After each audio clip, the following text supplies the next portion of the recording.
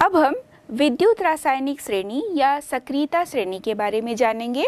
विद्युत रासायनिक श्रेणी को बनाया गया है, ये भी मानक अवस्थाओं पर ही बनाया गया है कि जितने भी धातुएँ हैं, उन सब के मानक अवस्था में जो इलेक्ट्रोड पोटेंशियल है, इलेक्ट्रोड विभव का मान है, तत्वों के ई ज़ीरो के मान को बढ़ते हुए क्रम के आधार पर जिस श्रेणी में जमाया गया है, उसे हम कहते हैं विद्युत रासायनिक श्रेणी इलेक्ट्रोकेमिकल सीरीज़ या सक्रियता श्रेणी के नाम से भी इसे जाना जाता है।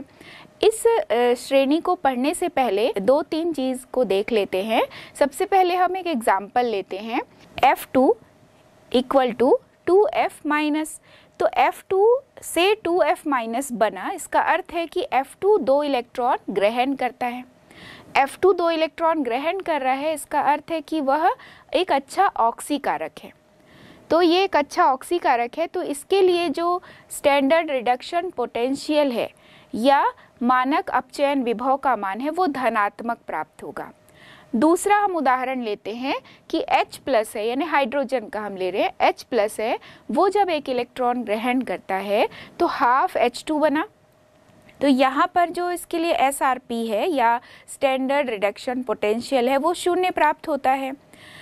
तो तीसरा एग्ज़ाम्पल लेते हैं कि लिथियम प्लस यदि इलेक्ट्रॉन ग्रहण करता है तो वो लिथियम में परिवर्तित होगा। लेकिन इसके लिए जो एसआरपी का मान है, वो ऋणात्मक प्राप्त हुआ, यानी मानक अपचयन विभव का मान इसके लिए ऋणात्मक प्राप्त हुआ। तो इसका अर्थ है कि इसके ऑक्सीडाइज होने की जो प्रवृत्ति है, वो बहुत ही कम है, जबकि F2 के ऑक्सीडाइज होने की प्रवृत्ति काफ़ी अधिक है तो उसके लिए SRP वैल्यू या स्टैंडर्ड रिडक्शन पोटेंशियल का मान उसके लिए धनात्मक है और लिथियम के लिए SRP का मान ऋणात्मक होता है। क्योंकि SRP का मान ऋणात्मक है, इससे ये समझना है कि इसके ऑक्सीडाइज होने की प्रवृत्ति बहुत ही कम है। तो लिथियम एक अच्छा अपचायक है, उसके लिए एसआरपी का मान निगेटिव होगा। ई e ज़ीरो की वैल्यू उसकी निगेटिव होती है तो वह एक अच्छा अपचायक होता है, उसके रिड्यूस होने की टेंडेंसी ज़्यादा होगी। वो एक अच्छा अपचायक है। ऑक्सीडाइजिंग पावर उसका बहुत ही कम होता है। जिस भी तत्व के लिए हम ई e ज़ीरो की वैल्यू पॉजिटिव देखते हैं तो वो एक अच्छा ऑक्सीकारक है। और ई e ज़ीरो की वैल्यू जिस तत्व के लिए जितनी ज़्यादा निगेटिव होगी, वो उतना अच्छा अपचायक होगा या रिड्यूसिंग एजेंट होता है। विद्युत रासायनिक श्रेणी की कई सारी विशेषताएँ हैं। जैसे, यदि विद्युत रासायनिक श्रेणी को हम देखते हैं तो ऊपर से नीचे आने पर जो वैल्यू है, वो धनात्मक की ओर जाती है। तो सक्रियता का मान ऊपर से नीचे आने पर कम होता जाता है। इसलिए इसे सक्रियता श्रेणी के नाम से जानते हैं। इसमें जो सक्रियता का क्रम है, वो ऊपर से नीचे आने पर कम होता जाता है। आप यहाँ श्रेणी को देखिए तो लिथियम सबसे ऊपर है और जो फ्लोरीन है वो सबसे नीचे है। तो जो लिथियम है, वह एक अच्छा अपचायक है और जो फ्लोरीन है, उसका जो ई ज़ीरो का मान है, वो पॉजिटिव है तो वो एक अच्छा या प्रबल ऑक्सीकारक की तरह कार्य करता है। जो हाइड्रोजन है, उसके लिए वैल्यू शून्य दशमलव शून्य शून्य वोल्ट यहाँ पे ई ज़ीरो की वैल्यू है। तो इसके ऊपर हाइड्रोजन से अधिक क्रियाशील है और हाइड्रोजन के नीचे हाइड्रोजन से कम क्रियाशील तत्व होते हैं।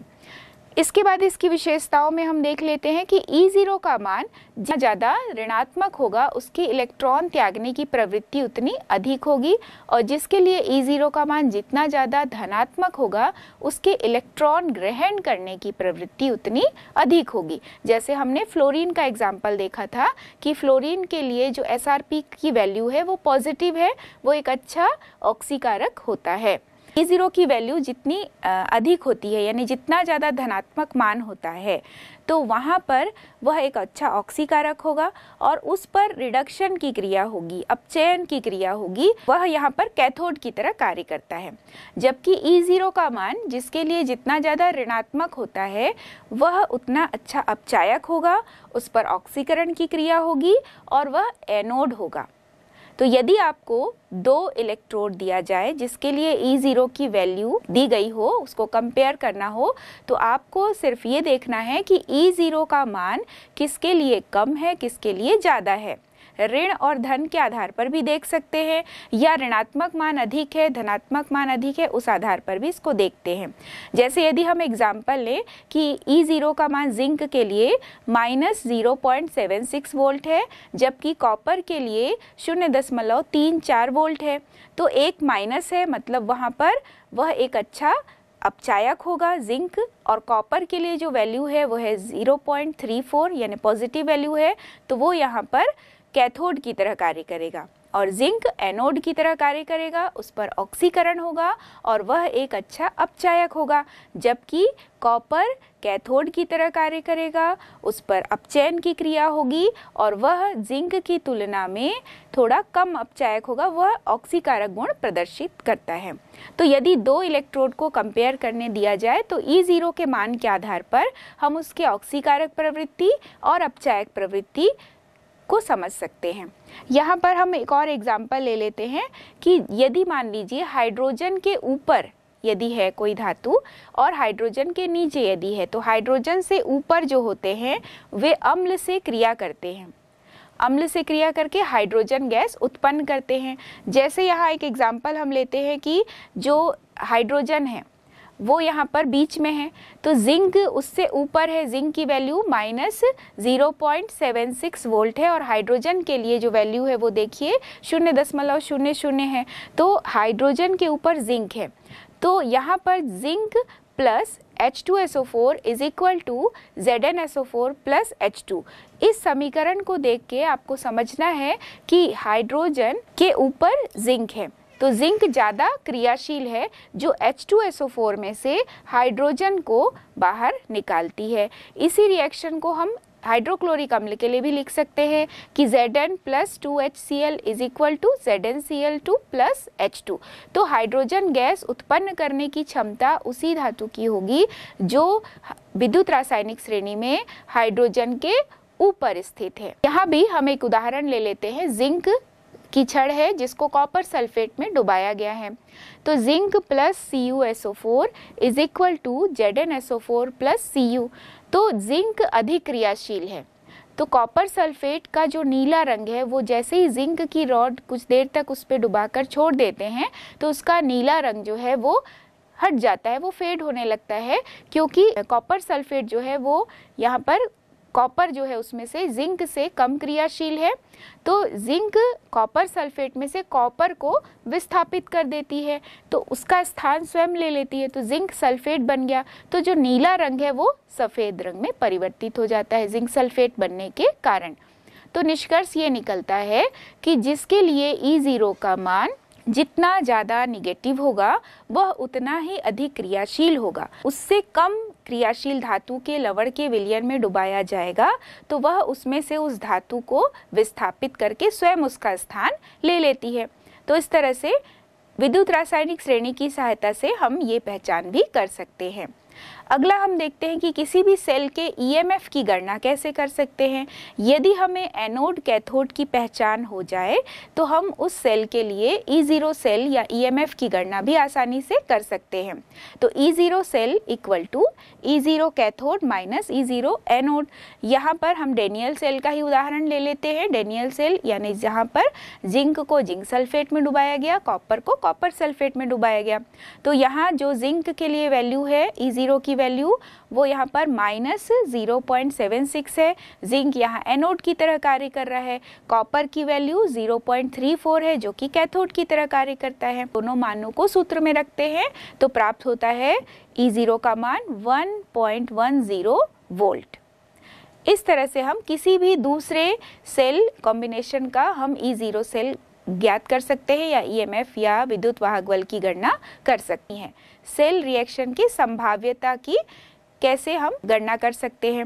यदि ई e ज़ीरो सेल की गणना करते समय, यानी E zero cathode minus E zero anode करके यदि हम दो अर्ध सेलों के लिए सूत्र में मान रखते हैं और ई e ज़ीरो सेल की गणना करते हैं और यदि वह धनात्मक आता है, अर्थात वह सेल रिएक्शन संभव होगा। जैसे उदाहरण हम ले लेते हैं एक कि आयरन है E equal to F E two plus plus two electron तो यहाँ आयरन में ऑक्सीकरण की क्रिया हो रही है, इलेक्ट्रॉन बाहर निकल रहा है।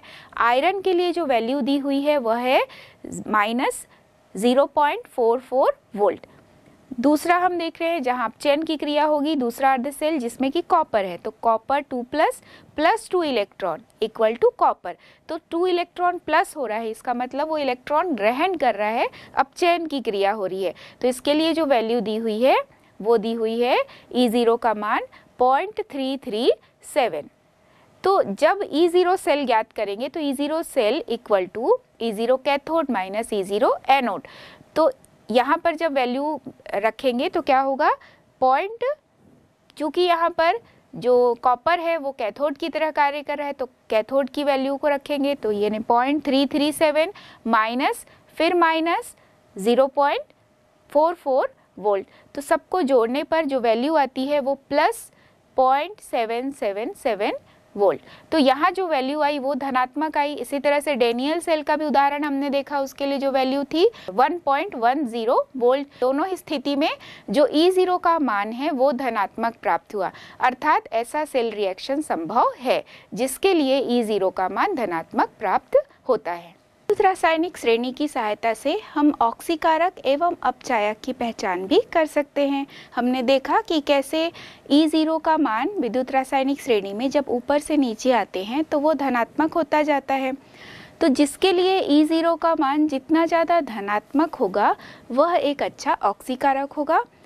जिसके लिए ई e ज़ीरो का मान जितना ज़्यादा ऋणात्मक होगा, वह एक अच्छा अपचायक होगा, एक अच्छा रिड्यूसिंग एजेंट होगा। इसी क्रम में हम एक एग्ज़ाम्पल ले लेते हैं कि जिसके लिए ई e ज़ीरो का मान जितना ज़्यादा ऋणात्मक होता है इलेक्ट्रॉन का प्रवाह उस धातु की तरफ़ होगा जिसके लिए ई e ज़ीरो का मान धनात्मक होता है। तो यहाँ पर हम एक उदाहरण ले रहे हैं कि यदि पोटेशियम, जिंक और लेड है तो इसके लिए ई e ज़ीरो का मान ऋणात्मक है। और दूसरा हम ले रहे हैं हाइड्रोजन कॉपर और मरकरी इसके लिए ई ज़ीरो का मान धनात्मक है। तो इलेक्ट्रॉन का जो प्रवाह है, वो जिस तत्व के लिए ई ज़ीरो का मान जितना ज़्यादा ऋणात्मक है, उधर से उस तरफ़ होगा, जिसके लिए ई ज़ीरो का मान जितना ज़्यादा धनात्मक होगा। ऋणात्मक वाले धातु के ई ज़ीरो के मान की तरफ़ से इलेक्ट्रॉन का प्रवाह उस तरफ़ होगा, जिधर ई ज़ीरो का मान या जिस तरफ़ ऐसे धातुएँ हैं जिसके लिए ई ज़ीरो का मान जितना ज़्यादा धनात्मक है। तो यहाँ पर हम सक्रियता श्रेणी के आधार पर इस चीज़ को भी पहचान सकते हैं। अगला हम देखते हैं धातुओं की क्रियाशीलता। धातुओं में देखा गया है कि जिस भी धातु के लिए ई ज़ीरो का मान जितना ज़्यादा ऋणात्मक होगा, उसकी क्रियाशीलता उतनी ज़्यादा होगी, जबकि अधातुओं के लिए ई ज़ीरो का मान जितना ज़्यादा धनात्मक होगा, वह उतना ज़्यादा क्रियाशीलता को दर्शाएगा, यानी अधातुओं के केस में। तो यहाँ पर धातुओं की क्रियाशीलता के क्रम को देखिए ई ज़ीरो के मान के आधार पर ई ज़ीरो का मान जितना ज़्यादा ऋणात्मक है, उस आधार पर ए जी उससे ज़्यादा क्रियाशील है कॉपर उससे ज़्यादा टिन फिर निकिल आयरन जिंक और सोडियम तो यहाँ पर ई ज़ीरो का मान इतना अधिक ऋणात्मक हो रहा है, क्रियाशीलता भी बढ़ रही है। दूसरा हम ले रहे हैं कि अधातुओं के लिए ई ज़ीरो का मान जितना ज़्यादा धनात्मक होगा, वह उतना ज़्यादा क्रियाशील होगा।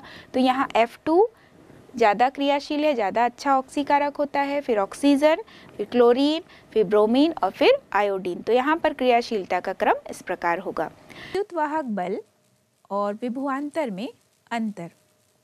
विद्युत वाहक बल, यह इलेक्ट्रोडों के मध्य विभुआंतर है जब परिपथ में कोई विद्युत धारा प्रवाहित नहीं होती है, जबकि विभवांतर यह सेल के दोनों इलेक्ट्रॉनों के विभवों का अंतर है, जब सेल द्वारा परिपथ में विद्युत धारा प्रवाहित की जा रही हो। ईएमएफ या विद्युत वाहक बल किसी सेल से प्राप्त होने वाला अधिकतम वोल्टेज है, और विभवांतर का मान ईएमएफ से हमेशा कम होता है। विद्युत वाहक बल सेल के ईएमएफ द्वारा गणना किया गया कार्य सेल से प्राप्त होने वाला अधिकतम कार्य होता है। सेल के विभुआंतर द्वारा गणना किया गया कार्य सेल से प्राप्त अधिकतम कार्य से कम होता है। सेल के ईएमएफ को विभव मापी द्वारा मापा जाता है और विभुआंतर किसी भी वोल्ट मीटर द्वारा मापा जाता है। अब हम विद्युत रासायनिक सेल एवं गिब्स ऊर्जा के बारे में जानेंगे कि विद्युत रासायनिक सेल के साथ गिब्स ऊर्जा का कैसा संबंध है। गिब्स ऊर्जा के बारे में हम जानते हैं अधिकतम उपयोगी कार्य, जिसे कैपिटल जी से दर्शाया जाता है। तो यदि कोई सेल रिएक्शन होता है और वहाँ पर कोई लाभदायक कार्य भी होता है और ये सारी चीज़ें स्टैंडर्ड टेम्परेचर प्रेशर पर होती है तो यहाँ पर जो मुक्त ऊर्जा में कमी है यानी डेल्टा जी की वैल्यू यदि जितनी ज़्यादा ऋणात्मक होती है, वहाँ पर ये माना जाता है कि उतना ही अधिक लाभदायक कार्य हो रहा है। स्थिर ताप एवं दाब पर जो जी का मान है, वह जी के मान में कमी के बराबर होता है। यहाँ पर जब विद्युत धारा की कोई भी मात्रा सेल के विभवांतर की ओर ले जाई जाती है तो यहाँ विद्युती कार्य होता है। ये जो विद्युती कार्य है, वो विद्युत की मात्रा और विभवांतर के गुणनफल के बराबर होगा। तो सेल का जो ईएमएफ है, वह विद्युती कार्य के लिए यदि गणना की जाए तो यहाँ पर विद्युती कार्य क्या होगा? विद्युती कार्य बराबर एन एफ़ ई और यहाँ यदि ई का मान ई यहाँ पर सेल का ईएमएफ है और इसी चीज़ को यदि मानक अवस्था में लिया जाएगा तो सेल का जो विभव है, मानक सेल विभव कहलाएगा और उसे हम ई ज़ीरो से दर्शाते हैं। तो विद्युती कार्य बराबर गिब्स ऊर्जा में कमी को दर्शाता है। तो विद्युती कार्य के लिए हमने निकाला एन एफ़ ई एन यहाँ पर इलेक्ट्रॉनों की संख्या है ई e सेल का विभव है और एफ़ जो है वो फेराडे जिसकी वैल्यू हम ले रहे हैं, छियानवे हज़ार पाँच सौ कुलम यहाँ पर equal to minus delta G तो माइनस डेल्टा जी यानी मुक्त ऊर्जा में कमी। तो जो विद्युतीय कार्य हुआ है, वह मुक्त ऊर्जा में कमी के बराबर है। तो यदि मानक अवस्था में लिया जाएगा तो एन एफ़ ई को हम लिखेंगे एन एफ़ ई ज़ीरो तो डेल्टा जी बराबर एन एफ़ ई है और ई e बराबर यदि ई e ज़ीरो है, मानक अवस्था है तो ये वैल्यू हो जाएगी delta G zero delta G भी यहाँ पे ज़ीरो दर्शा रहे हैं, यानी मानक अवस्था में मुक्त ऊर्जा परिवर्तन को बता रहे हैं। तो delta G zero equal to minus N F E zero. तो इस तरह से ये फॉर्मूला हमारे पास आएगा कि मानक मुक्त ऊर्जा में परिवर्तन जो है, वह किस प्रकार से विद्युतीय कार्य से संबंधित होता है? तो minus N F E zero तो यदि किसी प्रश्न में ई e ज़ीरो की वैल्यू दी हुई है, उस आधार पर हम उस सेल के लिए मुक्त ऊर्जा परिवर्तन की गणना कर सकते हैं। नंस्ट समीकरण. किसी भी विद्युत रासायनिक सेल में जो सेल का विभव है और जो अभिकारक और उत्पाद का सांद्रण है, उनके मध्य संबंध को स्थापित करने के लिए नस्ट द्वारा समीकरण दिया गया। क्योंकि सामान्य अवस्था में हम या 298 केल्विन टेम्परेचर पर वन मोलर कंसंट्रेशन पर हम आसानी से किसी भी सेल के सेल विभव की गणना कर सकते हैं। लेकिन यदि अभिकार को उत्पादों के सांद्रता में परिवर्तन होता है, तापमान में परिवर्तन होता है तो ऐसी स्थिति में हम सेल विभव की गणना कैसे करें, इसके लिए नंस्ट द्वारा समीकरण दिया गया, जिसे हम नंस्ट समीकरण के नाम से जानते हैं। तो नंस्ट समीकरण को पढ़ने से पहले थोड़ा सा हम देखेंगे कि कैसे इस इन्होंने संबंध को स्थापित किया। इसको पहले नंस्ट समीकरण के रूप में हम पढ़ेंगे कि कैसे सेल के साथ जो अभिकारक और उत्पाद की जो सांद्रता है, उसका संबंध इन्होंने कैसे स्थापित किया और उसके बाद हम ईएमएफ की गणना कैसे करते हैं, उस चीज़ को सीखेंगे। तो इसके लिए एक छोटा सा डेरिवेशन है। यहाँ पर यदि हम देखें A A plus B B equal to C C plus D D यानी यहाँ शो हो रहा है कि ए और बी की क्रिया से सी और डी बना तो ए और बी यहाँ पर अभिकारक है और सी और डी यहाँ पर उत्पाद है। तो Q बराबर, यदि हम द्रव्य अनुपाती क्रिया का नियम देखें तो इसके लिए ऊपर होता है उत्पादों के मोलर सांद्रता का गुणनफल और नीचे होता है अभिकारकों के मोलर सांद्रताओं का गुणनफल। तो Q बराबर, Q यहाँ पर अभिक्रिया लब्धि को बताता है। तो यहाँ Q बराबर है C बड़े ब्रैकेट में लिख रहे हैं सी को। बड़ा ब्रैकेट यहाँ पर सी की सक्रिय मात्रा को, यानी सी की सांद्रता को दर्शाता है। तो बड़ा ब्रैकेट सी फिर उसके घात में सी लिखे, जो यहाँ पे सांद्रता को दर्शा रहा है। फिर डी बड़े ब्रैकेट में, फिर उसके ऊपर स्मॉल डी लिख रहे हैं घात में।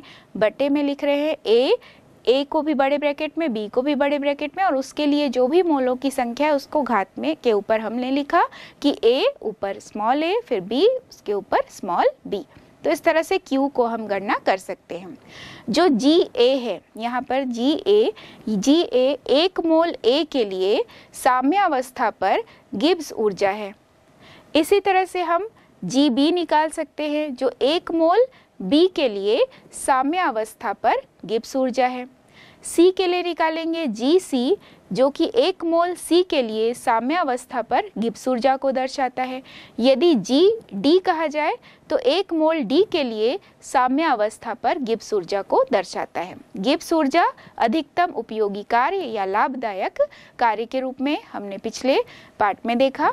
तो यहाँ पर G C equal to G zero C यहाँ पर प्लस आर टी बड़े ब्रैकेट में लॉग सी तो यहाँ एल के रूप में लिया जा रहा है नेचुरल लॉग इसलिए एल लिख रहे हैं एल बड़े ब्रैकेट में सी तो पहला जो संबंध हमें प्राप्त हुआ, यानी वो है जी सी के लिए, जो कि सी है।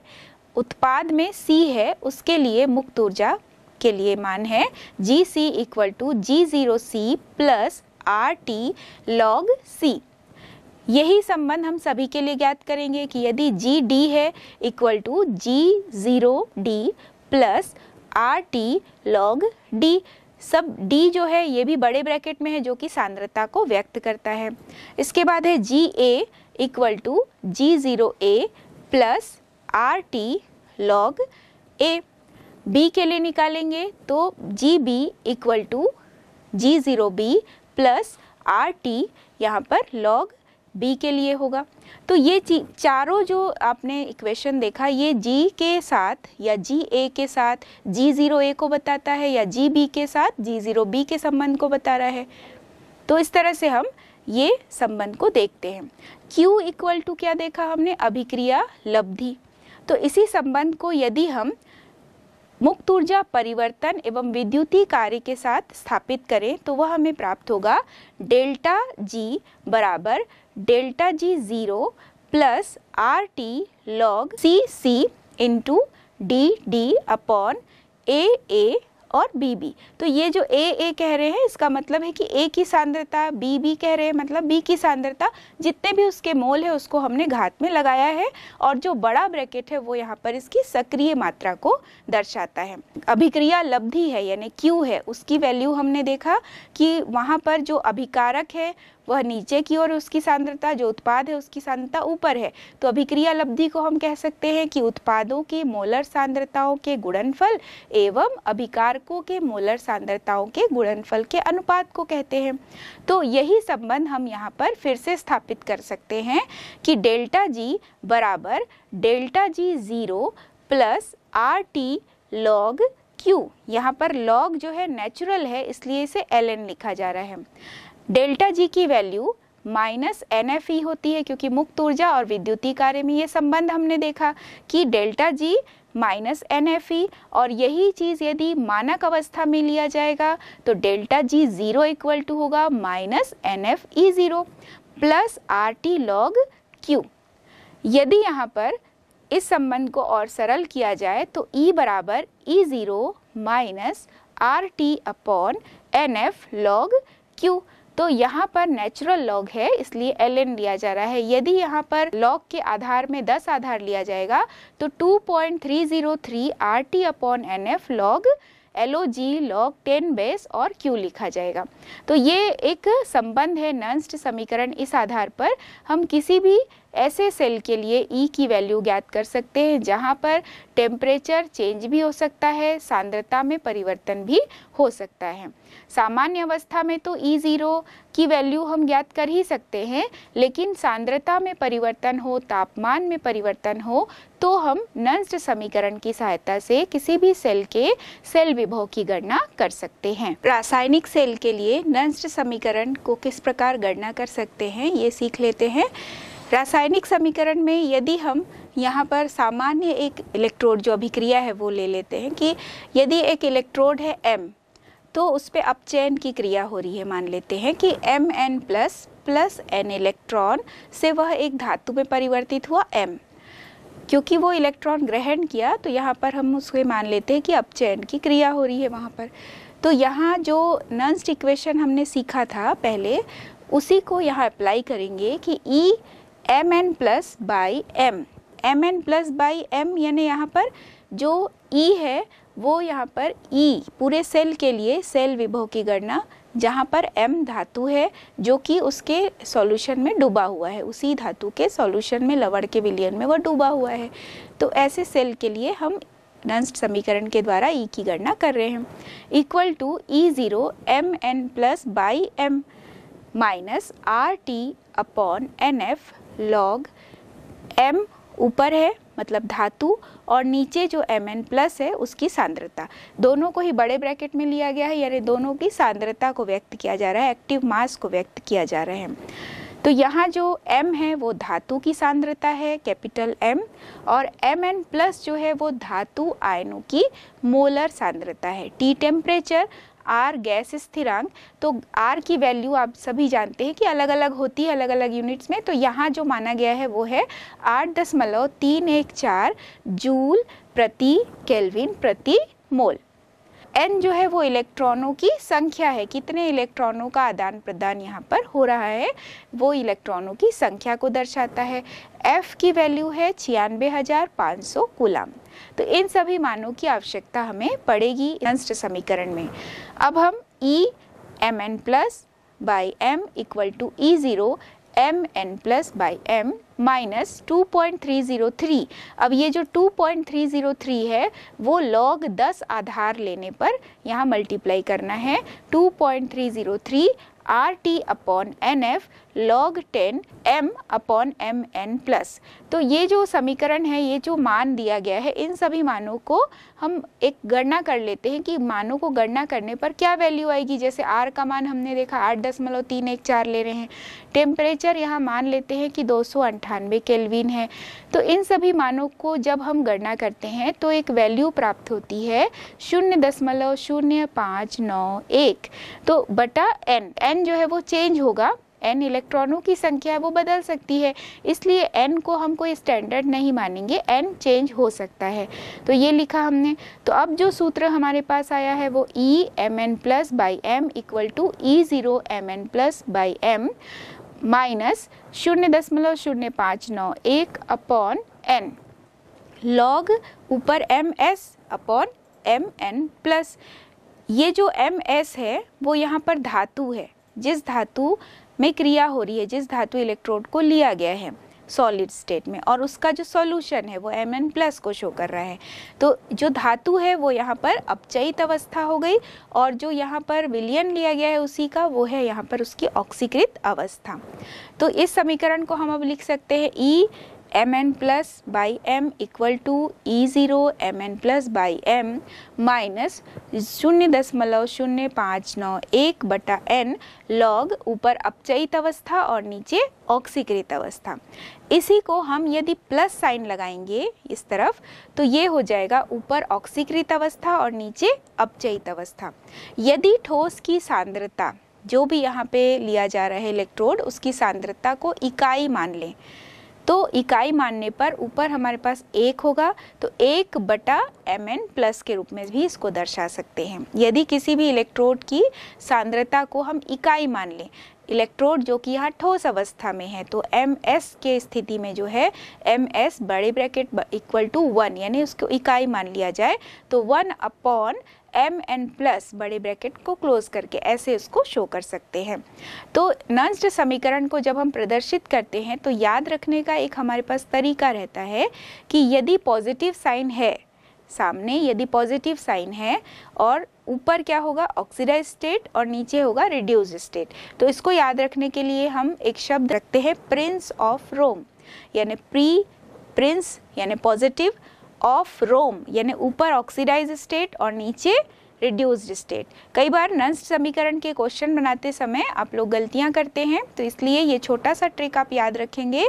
प्रिंस ऑफ़ रोम यानी पॉजिटिव साइन यदि है समीकरण में तो ऊपर ऑक्सीडाइज स्टेट और नीचे reduced state oxidise stage stage है यहाँ पर तो ऊपर रहेगा और रिड्यूस्ड है तो नीचे रहेगा। यदि सामने पॉजिटिव साइन है, यदि निगेटिव साइन होगा तो ऊपर रिड्यूस्ड स्टेट होगा और नीचे ऑक्सीडाइज स्टेट होगा।